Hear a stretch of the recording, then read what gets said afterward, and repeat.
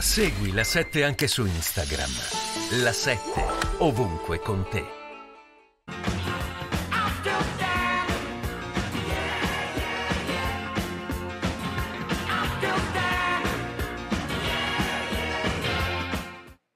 Allora, maglietta della flottiglia Mas, della decima massa, il memento Audere Semper dietro, ehm, se ne accorgono dopo perché va in onda, poi però lui viene cacciato all'istante e lo stesso però Montesano che avevamo già almeno io addirittura collegato da una piazza, voleva sputare senza mascherina, pensava che il, il Covid fosse tutta una congiura, insomma che succede? Come mai l'Italia si appassiona?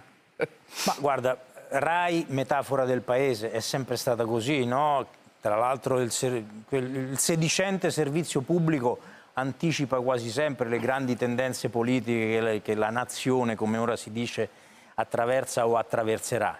E, e, qui il problema qual è? È che appunto un servizio pubblico serio, serio, che vuole fare anche intrattenimento, come è giusto che sia, per quale motivo in un programma di prima serata importante che fa ascolti clamorosi perché Come no, Mili Carlucci si contende la leadership del sabato sera con eh, Maria la sanguinaria, come viene definita da Dagospia, Maria De Maria De Filippi. No, che il sabato sera con Tu sì che vale stravince sempre. Però Ballando con le stelle gli è un'incollatura. Ma non c'è ecco, dubbio, cioè un programma di grande un programma come quello, anche bello, piacevole, interessante, divertente, stimolante, invita come ballerino, come concorrente, uno come Enrico Montesano, che ha fatto quello che ricordavi tu durante i giorni tragici del, del Covid, quando ancora stavamo veramente... Perché è un fenomeno?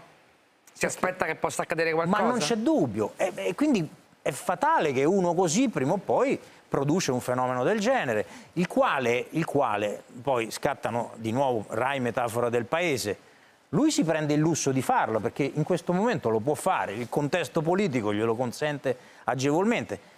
Gli autori Però del no, programma... perché Stefano Coletta, il direttore dell'intrattenimento della RAI, l'ha mandato via in dieci minuti. Dieci minuti, diciamo in, qualche, in parecchie ore, eh, perché, perché, il tormento è durato l'intera domenica, quindi non è stata una decisione così semplice. Però, ripeto... Eh, gli autori dove erano? Hanno dato, a un certo punto volevano dare la colpa al costumista, cioè come se dipendesse da lui, è sempre il maggiordomo l'autore dei delitti. Ma, eh, ripeto, è una metafora del paese. Eh, il servizio pubblico è, dovrebbe essere tutt'altro e se non si danno una regolata, io penso che il declino proseguirà inesorabile.